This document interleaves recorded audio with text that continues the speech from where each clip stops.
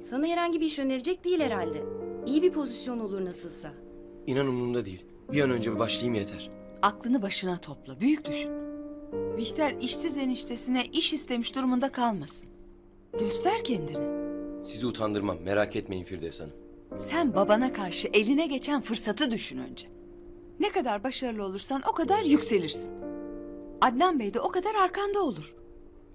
Bu fırsatı iyi değerlendir. Elimden geleni yapacağım. Ben de çok hırslandım artık. Göreceğiz.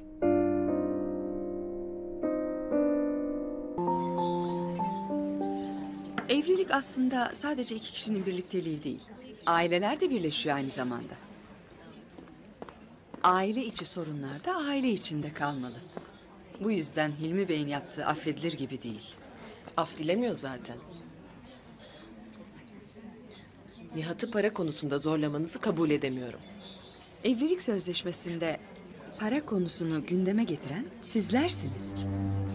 Aslında Hilmi Bey gibi düşünmediğinizi biliyorum. Para işinde Nihat'a yardım ettiğiniz de tabii. Oğlumu nasıl bir baskı altına aldığınızı bildiğim için yaptım. Sırf onu rahatlatmak için. Hepimiz çocuklarımız için uğraşıyoruz.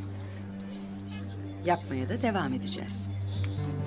Nihat'la babasının arası sizin yüzünüzden bozuldu. Oğlumuzu bizden kopardınız. Artık uğraşmayın. Yeter. Tipik oğlan annesi lafları. Peyker'in Nihat'la evlenmesini istemedim ben. Bana rağmen evlendiler. Tabii sizin uygun damat kriterleriniz farklı. Bihter'in Adnan Ziyagil'le evlenmesinden belli. Beni tahrik etmeyin lütfen. Daha fazla olay çıkmasını istemiyorum.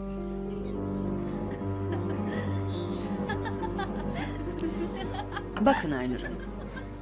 Bütün İstanbul Bihter'in düğünündeki rezaleti konuşuyor. Bütün gözler üzerimizde. Olaydan en az benim kadar siz de zarar gördünüz. Çocuklar da tabii. İnsanları bunu unutturmamız lazım. Olayların sebebi siz olduğunuza göre insanların ağzını kapatmak da size düşüyor Firdevs Hanım. Ben istemeden de olsa üzerime düşeni yaptım bugün. Yeteri kadar görüntü verdim etrafa. Daha fazlasını beklemeyin. İyi günler. Güle güle.